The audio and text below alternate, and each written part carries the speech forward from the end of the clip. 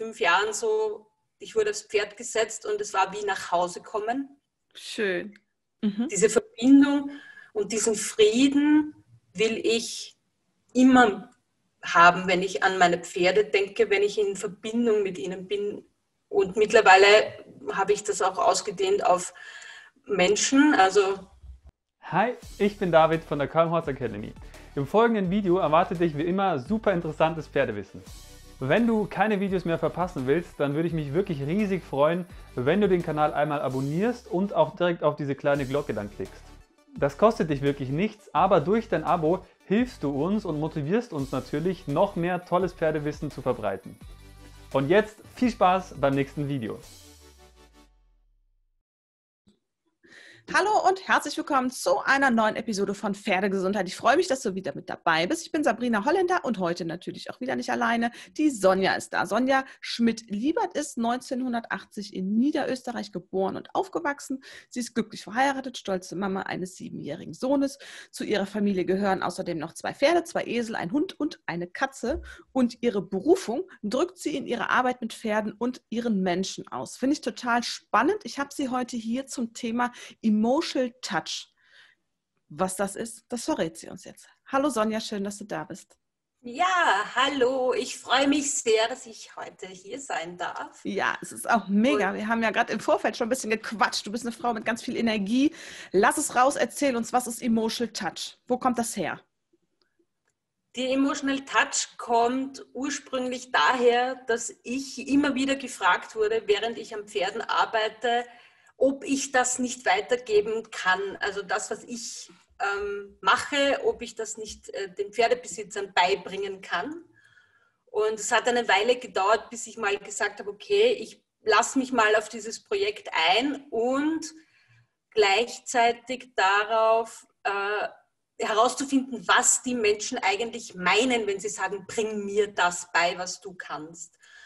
Und es hat sich dann im Laufe der Zeit herausgestellt, dass sie diese Verbindung meinen, die ich zu Pferden habe.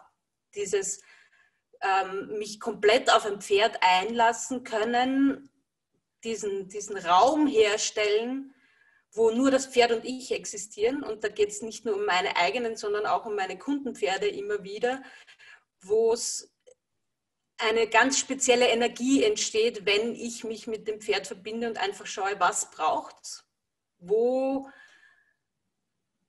wo ist das Rad, an dem ich drehen muss, damit die, das Energiesystem wieder komplett äh, sich reorganisiert und komplett in Schwung kommt. Also ich bin Energetikerin von Geburt an, sage ich immer, Pferdeflüsterin von Geburt an. Für mich war das mit fünf Jahren so, ich wurde aufs Pferd gesetzt und es war wie nach Hause kommen. Schön. Und meine Seele, also man merkt es jetzt auch ein bisschen an meiner Stimme, immer wenn ich diese Geschichte erzähle, bin ich immer sehr berührt, weil es nach wie vor so ist, dass das mein, ähm, die Pferde mein Zuhause sind. Und Ach, ich, ich, bin da auch immer sehr mitfühlend. Ich muss gerade auch ein bisschen schlucken. Liebe Hörerin, ich musste ja mal sagen, wir sehen uns ja hier. Ne? Wir machen hier, die Aufnahme findet mit Video statt. Das heißt, Sonja und ich sitzen zwar äh, hunderte Kilometer entfernt, aber trotzdem äh, haben wir ein Gespräch unter vier Augen. Und äh, es ist wahnsinnig, was hier gerade jetzt auch für eine Energie in den Räumen ist und äh, vielleicht auch über die Internetleitung alles äh, transportiert wird. Sonja, wenn dich das so berührt, wie würdest du beschreiben, wie man das äh, auch, also wie kann man das anderen Menschen beschreiben, dass sie im Prinzip genauso ein schönes Gefühl, genauso eine Bindung auch entwickeln? Was müssen die tun? Es klingt immer so banal. Und es ist eine, ja. eine, einer der schwierigsten Dinge, die, die es immer wieder zu tun gibt. Und das ist die Kontrolle loslassen. Also wir sind so äh, gesteuert davon, Angst vor unseren Gefühlen zu haben und Angst vor dieser Nähe eigentlich zu haben, weil wir sie nicht kennen. Also wir kommen ja alle aus diesem Zustand, wenn wir auf die Welt kommen, aus diesem im, im Bauch der Mama ist alles okay. Mhm. Da sind wir rundum versorgt. Da sind wir in der kompletten Fülle. Und wenn wir auf die Welt kommen, werden wir mit äh, anderen Gefühlen konfrontiert, dass halt nicht alles automatisch kommt, sondern man sich auch mal melden muss als Baby, was ja die meisten von uns nicht so kuschelig erlebt haben. Also heute ist man da ja Gott sei Dank schon viel auf ganz anderen Wegen.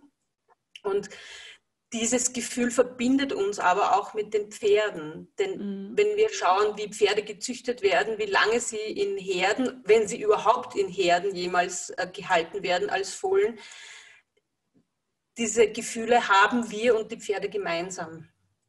Diese ganz, ganz ursprünglichen ähm, Trennungsgefühle verbinden uns auch mit den Pferden. Mhm. Das ist ein total interessanter Aspekt, den habe ich so auch noch nie bedacht. Ja. Und deswegen, wir tragen den gleichen Schmerz. Mhm. Und es war für mich wirklich ähm, ein ganz, ganz gravierendes Erlebnis, der Tod meines ersten eigenen Pferdes, wo ich diese Verbindung noch extremer gespürt habe, als ich sie schon zu Lebzeiten hatte. Und dann, also diese, diesen totalen Frieden, dieses Gefühl hat mich vor mittlerweile fast 15 Jahren, glaube ich, so mhm. berührt, dass ich gesagt habe, und das ist genau dieses Gefühl, das ich zu Lebzeiten haben will. Mhm. Diese Verbindung und diesen Frieden will ich immer haben, wenn ich an meine Pferde denke, wenn ich in Verbindung mit ihnen bin. Und mittlerweile habe ich das auch ausgedehnt auf Menschen. Also da hatte ich noch riesengroße Hemmschwellen, ja. mich auf Menschen in diesen Punkt einzulassen. Und auch da ist es diese Reise wert. Und die Emotional Touch, ähm, ich habe dann eben nach einer Möglichkeit gesucht, wie ich diese Verbindung Menschen nahebringen kann. Und zwar ohne, dass ich ihnen meine ganze erstens energetische Ausbildung irgendwie verklickern muss, mein, mein naturgegebenes äh, Bedürfnis nach alles verstehen wollen und ich habe mich viele Jahre damit beschäftigt und höre auch sicher nicht auf, mich mit diesem Thema der Beziehung zwischen Mensch und Pferd zu beschäftigen und auch den Zusammenhängen zwischen anderen. Und trotzdem wollte ich etwas, wo ich sage, ich kann das einem Menschen an einem Tag etwas an die Hand geben, das ihn und sein Pferd ein Leben lang unterstützen kann. Mhm. Und an dem Punkt kamen damals, mit dieser Frage kamen die ätherischen Öle, therapeutischen Öle von doTERRA in mein Leben, mhm. weil ich auf der Liege lag und diese Anwendung mit genau diesen acht Ölen an meinem eigenen Körper erfahren habe. Und da war es, ich bin aufgestanden und gesagt, das braucht es für Pferd. Okay. Und wusste da noch nicht, wie sich das im Endeffekt wirklich auswirken wird. Ja. Habe mich auf eine vierjährige Reise mit den Ölen begeben, wo ich äh, in, im deutschsprachigen Raum auch sehr viel unterwegs war, habe das an über 100 Pferden ausprobiert, ich selbst und äh, auch äh, immer wieder nachgespürt und nachgefragt bei denen, die, denen ich es beigebracht habe. Und es ist so ein Raum der bedingungslosen Liebe, der geschaffen wird. In dieser energetischen ähm, Wolke und die dann auch noch eine Duftwolke ist, die ganz fantastisch riecht. Mhm. Und hier ist auch eben, also die Anwendung, dadurch, dass die Anwendung am Menschen entwickelt wurde, wurden diese acht Öle und Mischungen äh, auch chemisch aufeinander abgestimmt mhm. von einem Arzt. Mhm. Also das ist wirklich von hinten bis vorne auch so, dass da die chemischen Reaktionen alle zusammenpassen, was ja auch total wichtig ist, finde ich immer, dass man nicht äh, einfach so drauf los, weil das Irdische hat ja auch seine Berechtigung, nicht nur das Energetische und nicht nur die Seelenebene. mhm. sondern eben auch diese Energie auf die Erde zu bringen.